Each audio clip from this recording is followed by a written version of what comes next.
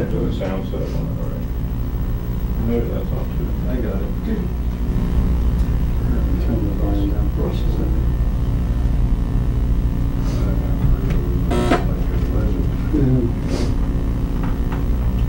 Yeah, that's fine. Who? Bill Hicks. Bill I'm Hicks. trying to get it said again. Bill Hicks? Bill Hicks. Hicks? Bill H Hicks. I C K S. Long time ago, long time, long He is unfortunately Pretty deceased. contemporary. Died about 10 years ago. I don't think so. Okay, thank you. That, that's. uh, It was like it was mid 30s. I had this feeling, man, because you know there's a handful of people actually run everything. That's true. It's provable. Not a fucking, not a conspiracy nut. It's provable. Handful, very small elite run and own these corporations, which include the mainstream media. I had this feeling who's ever elected president, like Clinton was, no matter what your promises you promise on the campaign trail, blah, blah, blah, when you win, you go into this smoky room with the 12 industrialist, capitalist scumfucks who got you in there, and you're in this smoky room, and this little uh, uh, film uh, screen comes down, and a big guy in a cigar roll the film. And it's a shot of the Kennedy assassination from an angle you've never seen before. It looks suspiciously off uh, the grassy knoll. And then the film, the screen goes up, and the lights come up, and they go to the new president. Any questions? Uh, just what my agenda is. First we bomb Baghdad. You got it. Can you reach that?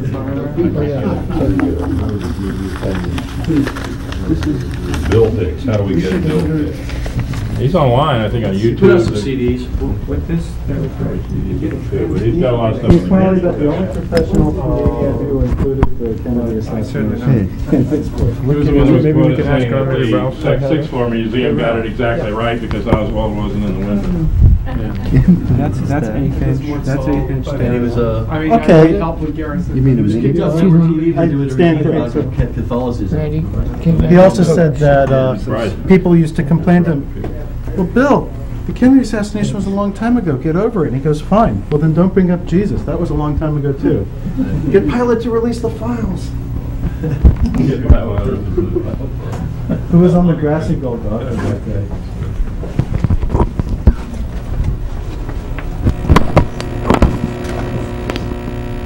Oh, no, imagine if Bill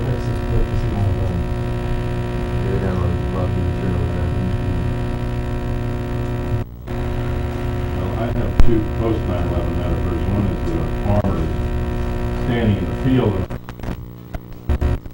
Farmer says, "What are you doing out here? You're supposed to be guarding the chickens." The Fox says, "You're right, boss. I'll be over there right away." He said, "Well, wait a minute. How are the chickens?"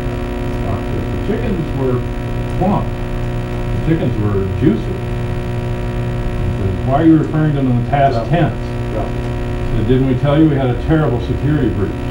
Said, what happened? Said, well, no one could have imagined that ferrets and dogs and eagles eat live chicken. We took them out of the pen, put them in the yard, and now they're almost all gone. He said, that's terrible. I'll have to get more chickens, probably get a new rooster, hire more foxes.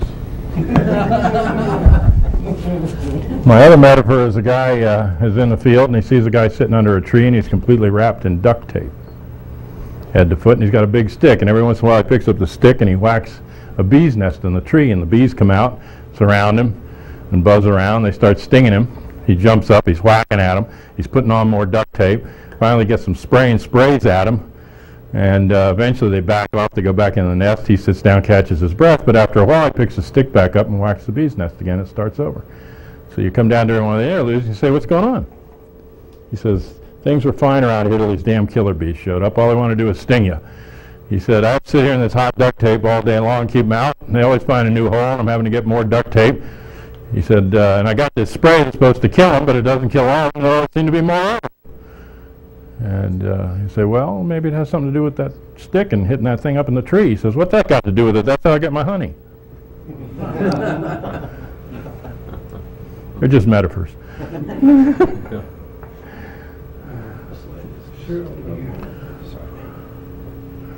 Randy, did you, get, have enough? You were asking me about what? Got it. Got it? So, will this work? We gotta get lights, I guess. Um, Before you start in, or you have some, something to say? Yeah, I was just gonna. Do this then. Say, a little something. All right. Well, you, you're the real hardcore ones. Saturday night, movie night. Wore out by Wolf Run. I know. so it's uh, Just the Russian part. it's funny. Um, um, I'm the one who asked the question about um, Bugliosi's book on on uh, Walt's front porch. Um, interviewed Walt, spoke with him at, at length, um, and he. Uh, oh, by the way, my name is Randy Benson. I'm uh, um, making a film called The Searchers. It's a documentary on the research community. Um, it's become much much bigger than I I'd originally thought. I've been. Let me see. Um, my very first.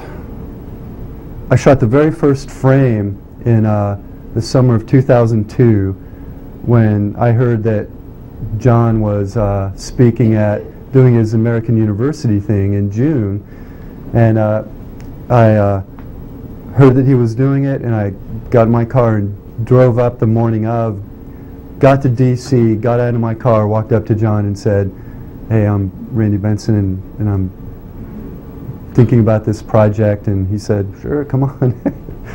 and so that was uh, seven long years ago.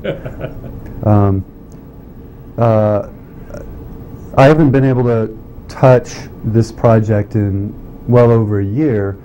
Um, in fact, I haven't been around many adults in well over a year. I, my my first child just turned one, so please for, forgive me for being so far behind. But Got the idea. but it's you know you know how it is. If you're a parent, you know how it is. But um, but uh, but yeah, so it's I'm back to it. Baby's sleeping. Everyone's happy. Everything's good. So my goal is to have it done by the summer, um, completely done. I am 90 have everything pretty much shot, um, and now I'm logging footage, cutting sequences together, um, digging through well over 100 hours of footage. Um, so very complete. Um, I feel like I'm I got tons of great stuff. The only thing left to shoot will be um, footage, just raw, just footage that that I've uh, that I'll need once I uh, really get editing.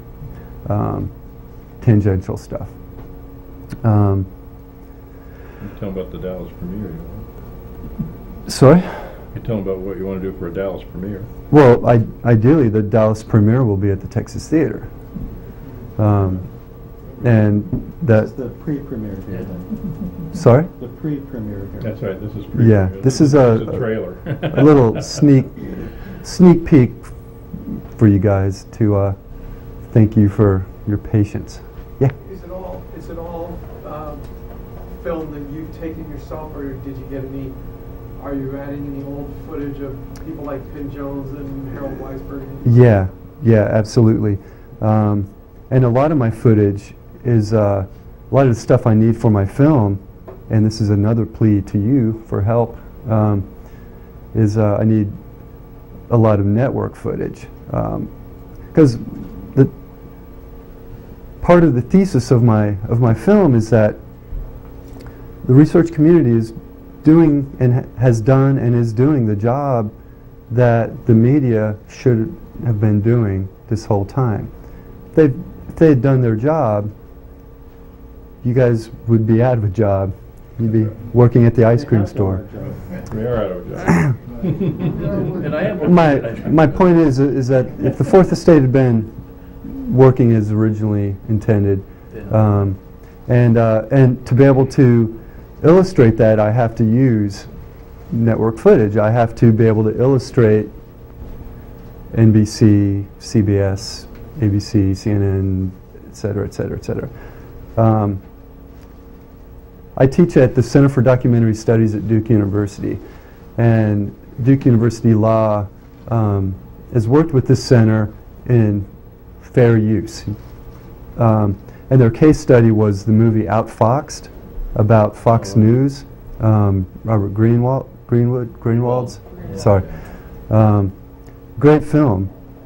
The issue, though, is that to illustrate how fucked up Fox News is, excuse me, um, uh, you have to use Fox News footage.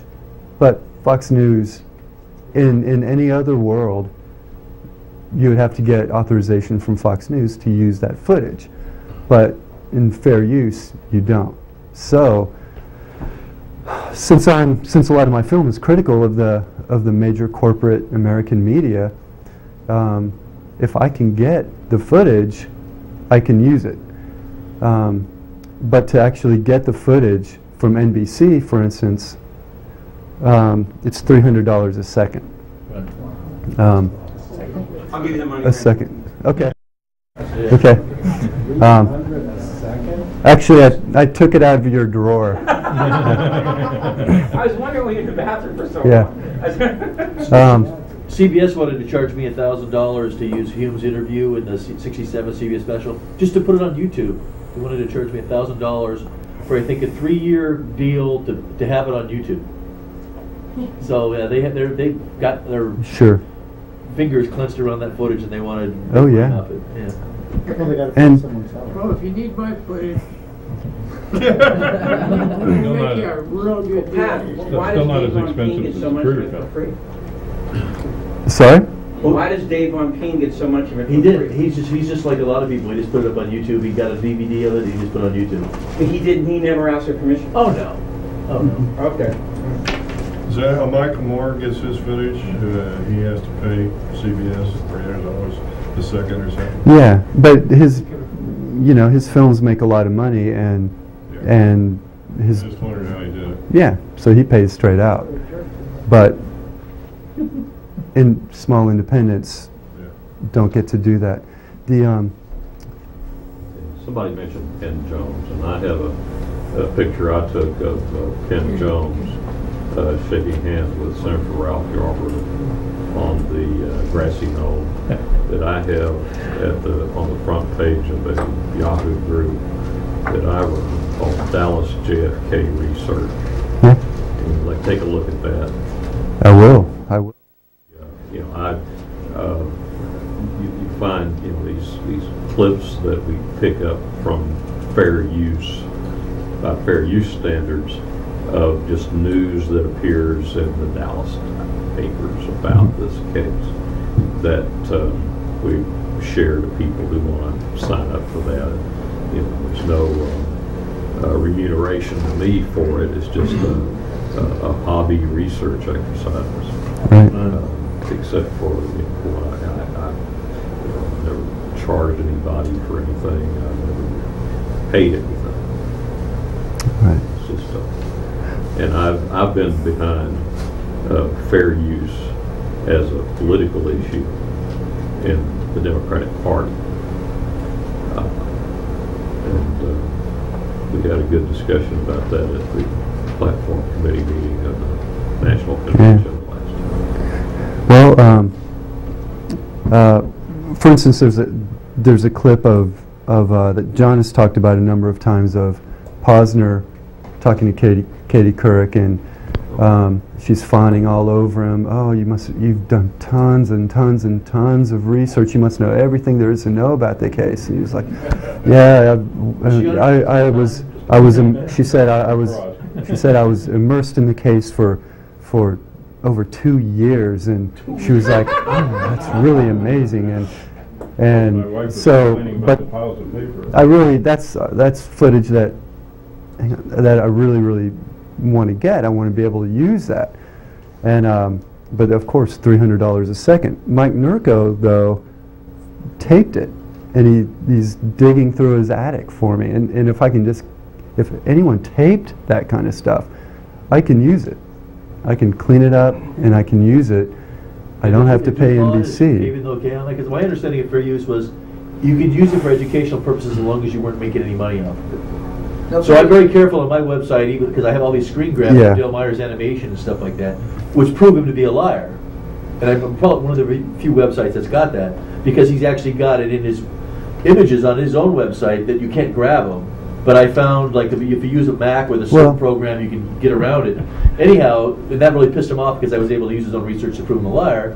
But I'm very careful not to have any banner ads or anything on my webpage because I don't want to ever be accused of making money off his research. Right. Well, if it works in in your film, I mean, it, if you're again like if you're making a film critical of Fox News, the only way you can possibly illustrate and make your point is by using their own footage. So you can and you can sell that to make money, and you're protected if you're if. But you have to be able to prove that that's the point you're trying to make. That's the only way you can do it. My entertainment lawyer is is pretty good, and Okay. so but I'm making sure my taxes are paid. um, We had, but the, we had a discussion group like this that was led by Jim Marrs at the University of Texas at Arlington. that I attended as long as it was still running. And, uh, and they met, met once a month. And here was this guy who showed up talking about writing a book. And uh, he wouldn't tell us a whole lot about it, but he was writing a book on the Kennedy assassination. He asked me what his name was. Gerald Posner. wow, Posner. Yeah. So, I uh, know a guy who may have a tape of that meeting. So, Any anything if you know when when stuff comes on, when interesting interview relating to JFK, if it's on, toss a tape or a DVD re- to record it. You know, if I'm putting a general plea out, I'll, my email address is rbensonfilm at gmail.com. R. R. Benson. If you B have N. any anything Yeah. like that that you'd be willing to get credit for in a in an awesome documentary, that would be I'd very much appreciate it. Um, Two possible resources. Um, C-SPAN has a has a huge uh, archive of almost everything, you know, certainly since like 1990 that's ever been on it, and they actually have a decent amount of JFK stuff. Okay. And, like you, you can get John on, on JFK, or, or John talking about uh, the Kennedy assassination. Got on C-SPAN? Uh, On the C-SPAN when- archives? When you were on C-SPAN, there was like a panel discussion with like Dan Moldea. Oh, the American Youth thing, Yes. yeah, the damn old ass snakes his And, way. uh, Okay, I'll- I'll- and, Yeah. uh, check in.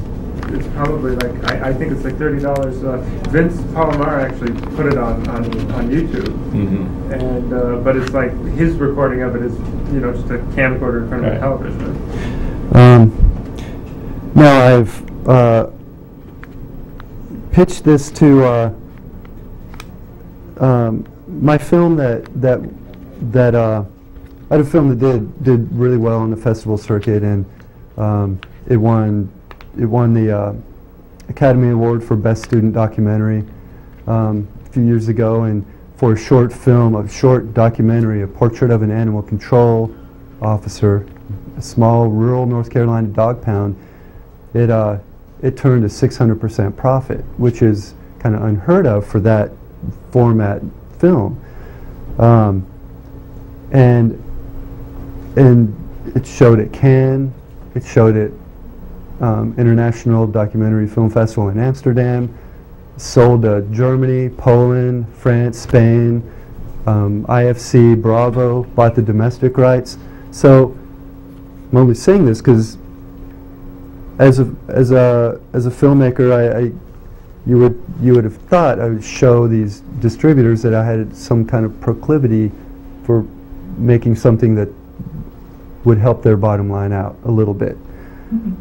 But and I said, you know, my what are you making? I'm making a, I'm making a film uh, about the JFK assassination. Oh, and you know, fly to New York and meet people and and okay, what's what's your thesis? Well, you know, I'm um, really feel like the, the Fourth Estate is let the American people down, and it's a portrait of people who are really doing the job, and no one wants to, you know, that was that was it with with uh, PBS and who at, who not long after that, of course, supported um, the Norman Mailer book, Os- Oswald's Ghost.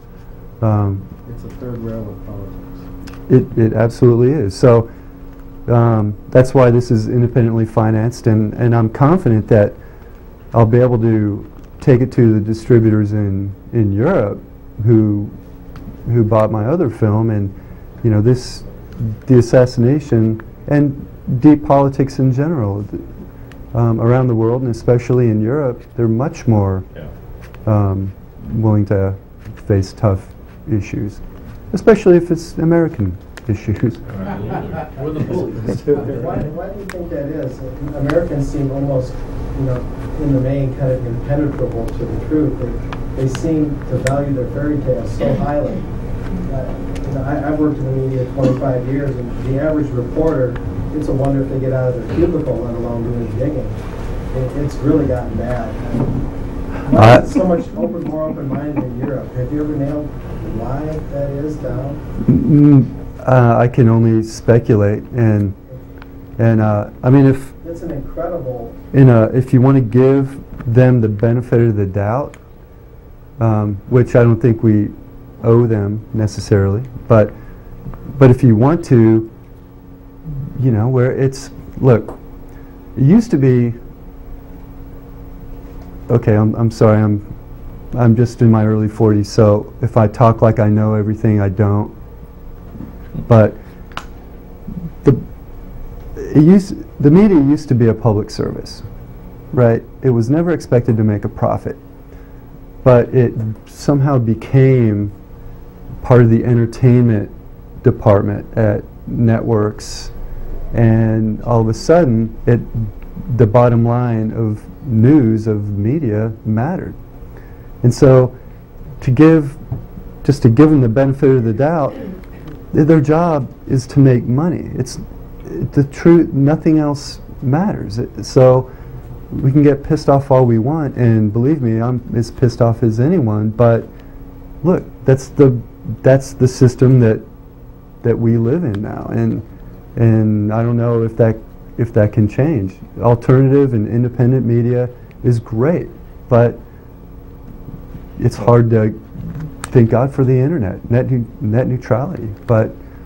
I don't know. That's my humble take on it, and I was going to ask Walt and John and. Well, I think a large part of how you asked the why of it, the guy that built my house that I live in in D.C. was named Robert Lee. He was the commissioner of the FCC from the 1930s to the 1960s. In the 1930s, there was a massive public protest, and I mean massive nationwide, against the first corporation being allowed to buy the first radio band from the FCC.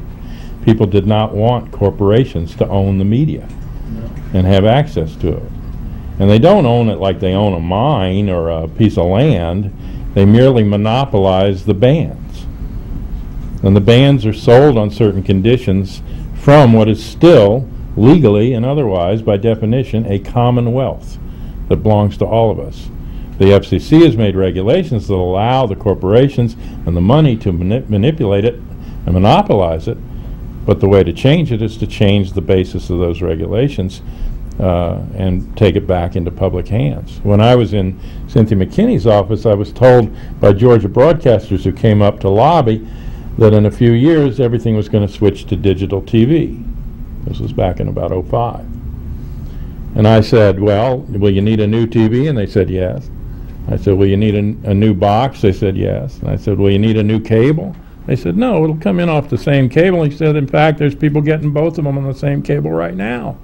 And I said, well, fine. The people who want to see every nose hair on a football player should pay a fee to the corporations and give the corporations HDTV and take all the rest of the analog channels and give them back to us. Mm-hmm. Instead of using it as broadband for homeland security or whatever garbage they're doing with us, and let us have some p- actual public, not national propaganda radio and you know propaganda broadcast service, but actual public media where we could debate issues and look at things. But that's, I think, is more central. And then once the corporations are there, you don't have a media anymore. You don't have reporting. You don't have anything like news. You've just got propaganda. We've never had Well, I wouldn't say that that's, I mean, I, I, th- I, th- I think the early, par- early parts of mass media were a lot more democratic, but, uh, and certainly early newspapers were. But, you know, and Jefferson said, given a choice between a government without a newspaper or a newspaper without a government, he'd choose the latter because he understood that the flow of information was more central to democracy and the democratic process than was, uh, you know, the machinery by which the decisions would be carried out. But I, I said in that talk that you mentioned that, of course, he'd never read the New York Times or the Washington Post. Jefferson retracted that in 1817. He's like, oh my God, nothing can now believe this printed in media. Well, as I said, it began to corrupt pretty fast, but- Exactly. Did he really? He actually said that, That's yeah. it. yeah. That's until they start writing. God, that's so yeah, He depressing. said like there, there should be three sections in the paper. One should be called like truth, and that section. Oh no, I'm sorry, that's George Seldes. I, I'm mixing quotes. But Jefferson did come out and say, "Wow," you know, because he's been president for a while. He's like, "I can't believe how bad the media is." And, And now that's happening Yeah, to the internet. Yeah, Seldes said, tell Ah. the truth and run. Yeah, yeah. yeah, Seldes was saying there should be three parts of a newspaper, you know, truth, lies, and other, you know, or something. It's like, of course, the part called truth would be very short. Right. Um, so I, uh, I did interview, um, getting back to Walt, interviewed Walt, went, went to his place. Uh, he said, uh, I can, I can give you a couple hours and, you know, that's getting equipment loaded in, set up, lights up, sit down, conduct an inter- interview, get everything out. Got there at 10 a.m. and, and needless to say, we had dinner and beers. So, and, and, and, uh, just like every, every, everyone I've interviewed, everyone I spoke with, Lisa and Jim, gracious to give me mountains of time, and uh, You didn't get my bill yet. didn't have to. yeah, Bugliosi Oh. says. Yeah. Yeah. Oh, great. Oh, um, by the way, I left a dimmer switch under your desk. so if that light isn't really bright, it's be- you just have to turn that dial. But uh, but uh, but yeah, there was some uh, a bag, a big heavy UPS bag, FedEx bag on Walt's front porch, and we're like right in the middle of everything, and so we're step carrying equipment in, stepping over it, and, and he said, "Yeah, that's Bugliosi's book," and it had it had been there s- for, for wasn't gonna bring months. it in the house. He didn't even touch it. It was like right over. I mean, he says it was on a table, but it was on the ground, and he he kicked it up under his his little uh, So he really did use Table. it as a doorstop? it wasn't even a doorstop. The, the, the FedEx guy put it on his porch and he never touched it. And it was like covered in goo and dirt and leaves and stuff. Well, And- Billy Oshie told me it was that. I, I saw him at a, a meeting long after he talked to me, and the book was out, and the book had already gone to Remainder, which didn't take too much time. Right. And I saw him, and I said, how's your book doing? And he said, you mean the doorstop?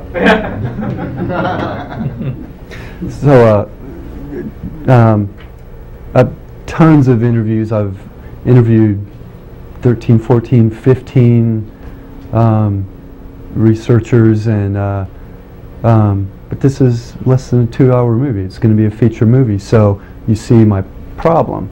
Can only use so much. Um, so a compendium series that, that I'll put out, and I'll create a website and, and make all these available for for researchers. Um, will be the searchers, the interviews, and um, and have the full interviews, um, even in some cases wi- with my with my questions for uh, for posterity for the research archives. Um, so although if if interviews if I won't be able to use even half even a third of uh, of the interviews I've got I collected so it'll all be be available for uh, for everyone's use everyone's Before you viewing Start them up, I wondered if Um, if John Garrity could say what his project is, because it's somewhat related. The Garrity Project. the Garrity project I'll just be really brief because Ma- uh, and Randy's is a lot more impressive than mine. but uh, basically, a few months ago, I proposed that uh, there be a collaborative project within the community. Um, I'm kind of doing the legwork on it, but the idea was that I try and get knowledge out of the research community, ask people to help me in any way they can, um, whether it be providing uh, footage, as, as Randy's been doing, photographs, knowledge, uh, a place to stay if I'm going to interview somebody, a, a s- a couch to sleep on. It's in its infancy at the moment, and I've kind of realised over the weekend that um, it's going to be a lot more of a long-term project than I'd first envisaged. Um, uh, I've barely been able to conduct an interview this weekend just because of the responsibilities with the with the conference. But basically, I'm trying to make it on a shoestring, as as Randy is. Um, I was kind of pitching it as a response, as a five-part response to the upcoming Bugliosi um, work with Tom Hanks that Jim was talking about earlier. Um, obviously, it's not going to be my research because I'm I'm 24. I've barely done any. I've I've done more reading than research, but uh, I was going to try and bring that knowledge together, give credit to those that have done the groundwork. Uh, I realize when I'm speaking now, it sounds an awful lot like what Randy has done, but um, I'm, I'm going to be kind of uh, not taking it from uh, a perspective of of looking at the researchers themselves, as Randy has done, but looking at the evidence. Um, the the shape of the documentary originally I proposed it for five parts in no particular order. One to be about best evidence, another to be about Oswald, um, then another to be about the the, the pretext, uh, the context, and um, what happened after the assassination, Vietnam, etc., and the escalation of, of, of globalization and um, the war policies of the United States. And then finally, uh, what I hoped would set it aside uh, from other documentaries would be the fifth part would be what the hell are we going to do after that? What what avenues can we follow? Uh, being what Bill Kelly had suggested a grand jury investigation. We're trying to get Watkins down here this weekend, but where do we go from now? Like four parts saying this is what we know, this is what we can prove. Fifth part, what are we going to do with this information? So uh, I'll just leave it there. Um, we'll give it back to Randy. Information on the site about it. Yes, sorry, on politicalassassinations.com.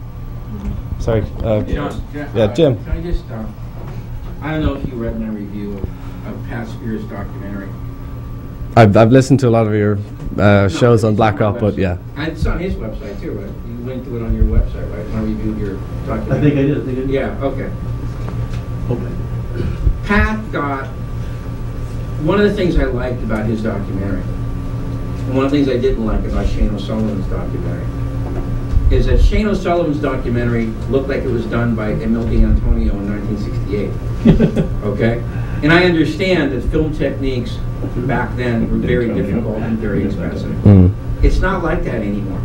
Pat got a lot of slick directorial skill into that documentary for not very much money. Okay? You know, so if you want to talk, I, I would advise you, what was that guy's name who directed it? Uh, Brad, Brad Mendelsohn. Yeah, I saw that he he's, did that. He's a guy I knew from, you know, since I was a kid, but then we re-met like at a high school reunion, and it turned out he'd, I'd been in the music industry, and he'd been making, pre- producing um, some award-winning rap videos, including by Outkast and people like that. So he learned how to do the slick stuff on a computer and, you know, make these two photos merge together and stuff Yeah. like that. And I said, I would love to make a Kennedy assassination video with you. You want to try it? And he's like, sure. And so the first one was just kind of an experiment to see if we did anything good. But anyhow, I, I think you could find professionals like that who would just kind of be willing to work on Yeah. it cheaper or, you know, to, to add those qualities because um, people who see my DVD, that's what they love in common is like, wow, you know, some of those images are really striking when you merge them together or you compare Yeah. and contrast. Because sometimes people see, well, the same thing I do with my slides, they see two photos and they don't really connect the two together. But then when you size them properly and you show how they fit together, then people all of a sudden they, it hits them like, oh, okay. Anyhow, Well, I have had a response from the proposal that I originally put out by or from people involved with, uh, you know, editors and people that work in television and movies who have, you know, expertise in these areas, offering to help me out as well. So, or at least draw upon their experience. And I told them I'd definitely be taking them up on their offer because it's it'll be a learning curve for me as well. I'm fairly technologically proficient, but um, they'll only go so far without any help. But yeah, thanks, Jim. All right. I've seen a number of people that have been working on projects about the assassination over the years. I've contributed some research to Jim Marrs' book, Crossfire, in the way of a, a photograph that he published in there. Um, I, I, I see people put in a lot of hours of work and effort and expense and travel expense and everything about uh, uh, the case. And I wonder how all this works out as a, uh, I mean, do they break even? Do they make money? Is there some, you know, for all the work that, that goes into this, is there Pat some? his own jet in. Yeah. I'd like to see some examples of how this all works out. Yeah, well, For all the work they do. I'm at an advantage because I don't really care for money generally, so that aspect of it I don't really care. And I should mention that the whole basis of the documentary is that uh, I won't be making it for a certain audience. It's supposed to be a web-based series um, available for free for all to see, and try to make DVDs of it and spread it as far as possible, but while retaining some kind of you Whenever know there's credibility a and commentary on Bugliosi's documentary, you'll say, if you want to see the other side, you'll have your link, so. yeah. Um, And you might get a I million can hits or something. add, who add, definitely add something to that because in documentaries in general, um, I mean, I'm, I, I teach documentaries at um, the recently ranked number one ranked documentary um, institution in the country, at Center for Doc Studies at Duke. Yeah, independent film magazine. So that was Alright. pretty cool. So, Debbie, At Duke. have- have the answer to what I'm bringing up here. Well, there are two documentary filmmakers in the world, in the world, who make a living making documentaries. One of them's Michael. Michael Moore and Ken Burns. And Uh, he has a, a commercial production company. Same with Albert Maysles. Same with Frederick Wiseman. I mean, so you don't make monies in documentary film. I mean, I make, I'm, I produce a TV station in Cary, North Carolina. I have a um, freelance film, so I shoot commercials and music videos and industrials, and that's how I and teach, and that's how I make my the expense my of money. traveling here into those other projects, that you're doing? Yeah. Okay. Yeah, and and you get get creative. So when I rent a piece of equipment for a for a gig, I make sure I pad the budget a little, so I can use that one piece of equipment on something for this. Or, you know, you just got to get creative. But so documentary films, not just mm-hmm. assassination films, but they're a labor of love. It's I tell my students, if you don't have to do this, do something else because it's There is It's- some foundation money available. I, I know Bill Kelly was paid to go across country and work on an article by Fund for Investigative Journalism out of DC, and um, there's some progressive uh, foundations that'll fund uh, film making. But this would not, this would not have happened if people didn't, didn't freely give their time. John hasn't charged, hasn't charged me a penny.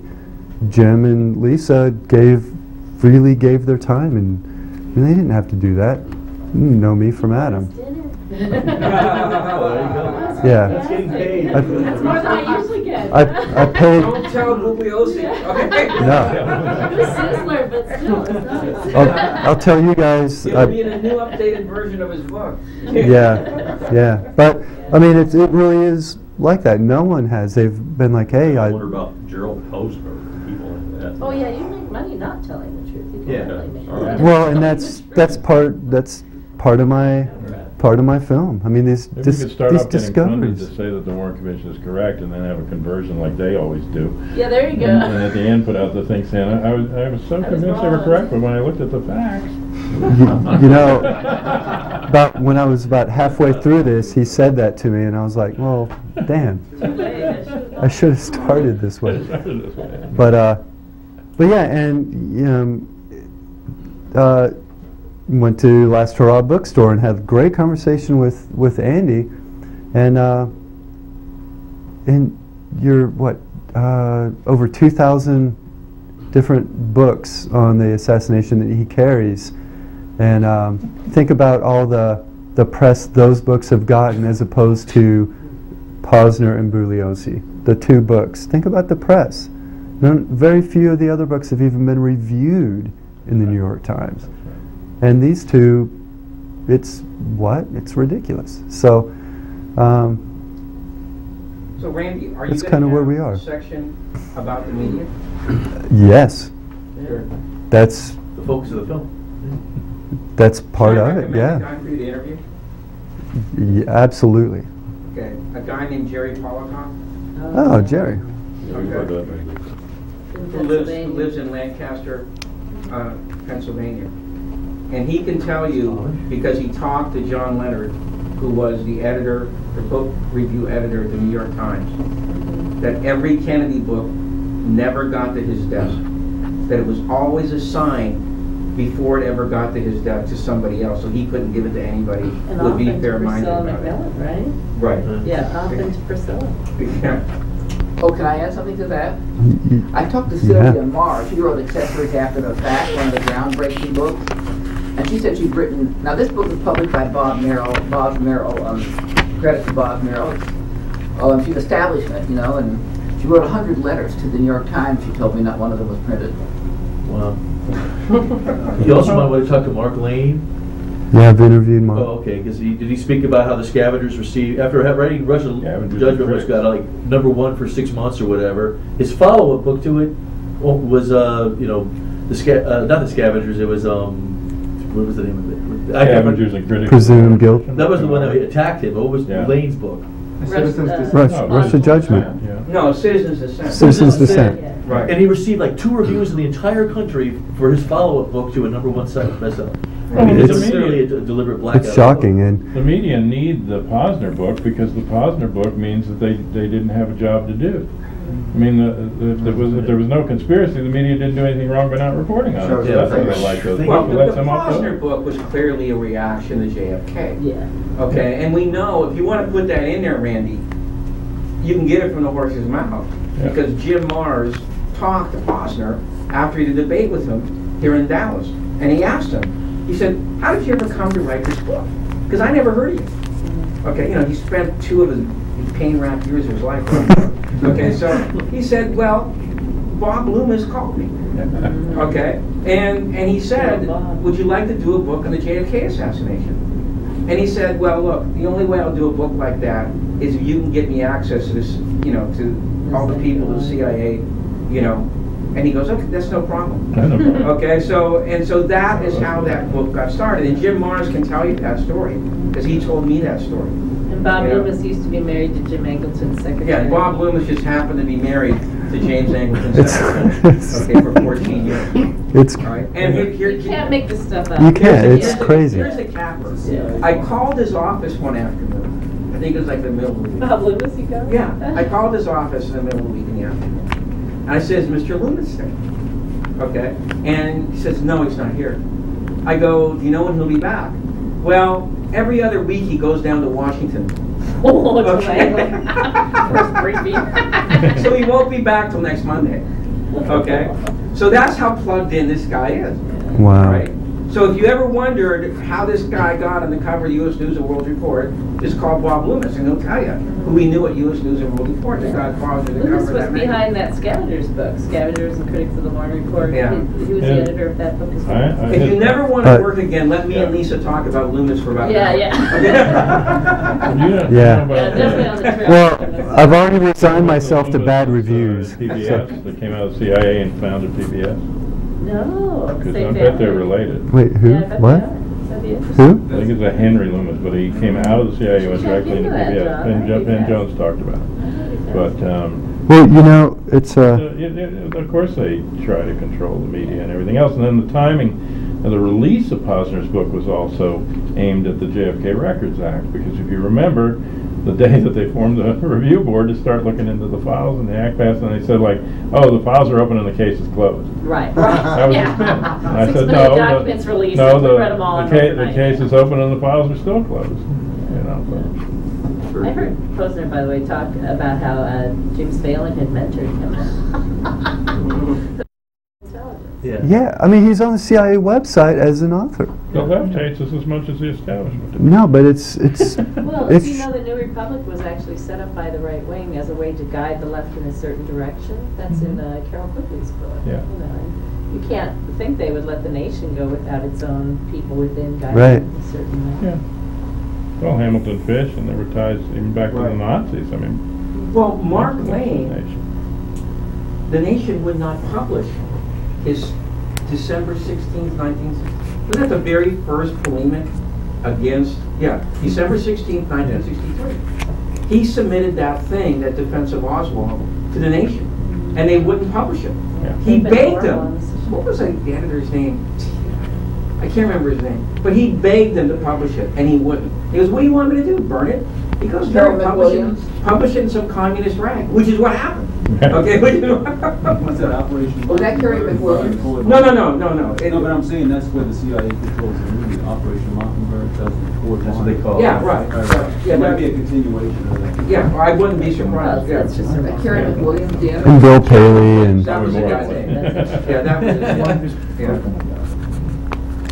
and Bill Paley and the whole. So what do you got to show us, Shane? So um, Yeah, let's see some footage.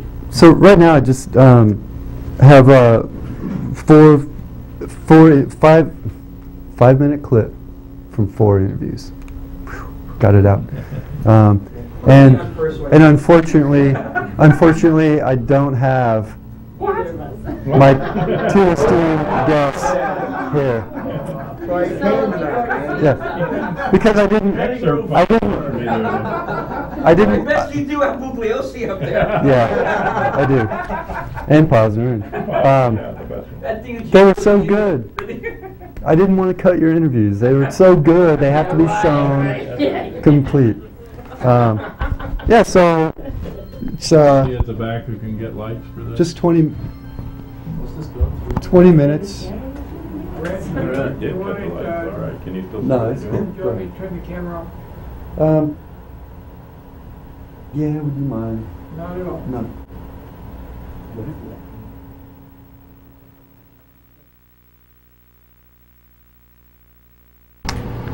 A year from now, we'll we'll be sitting here on the 22nd, and it will have screened at the Texas Theater, and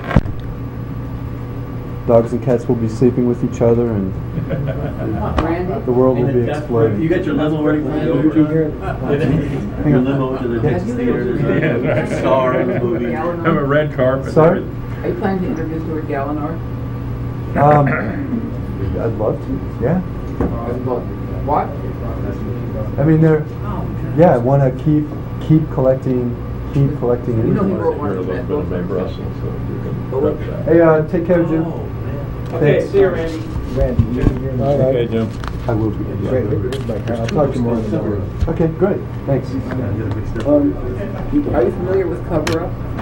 Yeah, of course, great. This is a poster. Well, Actually, he, he's not so much concerned with who killed Kenny as who covered it up. So that makes, it it gives him, It's, um, yeah.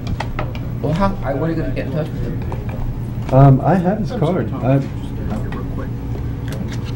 um, yeah, so, any, any questions? Um, I smell pizza. what, what you just saw is really Not pizza, but. So you finished flavor filming, of you're just gonna vintage. edit? Yeah. Sorry? You're just gonna edit and fix the sound and stuff like that, you're, no more filming? No, I, what filming I have will be, Okay. will just be B-roll, will be No, that's just Joe's uh, stuff to, connection. if I can't visually illustrate What we points do. that, are- Yeah. that are being covered in interviews, then, Right. then I have to go collect it, but, but, Now, uh, oh, this is on camera. I can, have- I can ask you a question after. Broadcast. yeah, but, you know, it's well over a hundred hours of footage, so it's, it's a good, a good bit, good bit of it. So you intend to have a, the final product probably be a couple of hours maybe? Yeah, it'll be a feature. And then how do you anticipate, uh, Well, um, my, my first That's good, yeah. stop will be with the uh, distributors who bought my last film in, in Europe. Sure. And the first festivals I'm gonna, gonna take it to and, um, markets will be in, will be in Europe. Um, start there. And then, um, um, and then the finished film I'll take to IFC and Bravo and people who bought, bought my last film.